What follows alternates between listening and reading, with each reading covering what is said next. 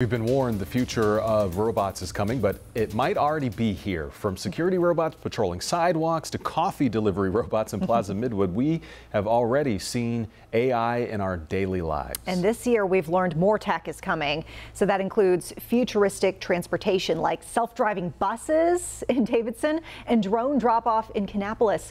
WCNC Charlotte's Lexi Wilson taking a look at what this means for our area. I'm in Plaza Midwood where you might have seen this little robot roaming around. It delivers coffee and pastries. Definitely a fun piece of technology, but it's actually part of a much bigger picture. In Charlotte's first streetcar suburb, it's cool. You know, it seems pretty pretty efficient. A new kind of resident. Pink robots that roll around kind of like an RV uh, car, and they're delivering uh, things like coffee and pastries from Undercurrent. The Canadian company Tiny Mile one month into their pilot project with Undercurrent Coffee. Right now, five robots guided by a camera deliver food and drinks within a one mile radius of the coffee shop. So far, it's been successful. There's hope they'll expand.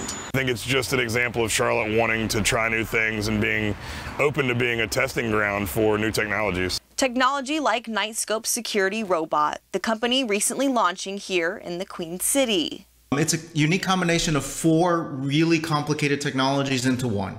Um, so it's autonomous self-driving technology like an autonomous car, uh, robotics, artificial intelligence, and electric vehicles. It can charge itself, detect people, and give officers a live look through its 360 degree camera. It's a robot revolution enhancing traditional security. They're, they're here to help. Still, there's concern about robots going too far.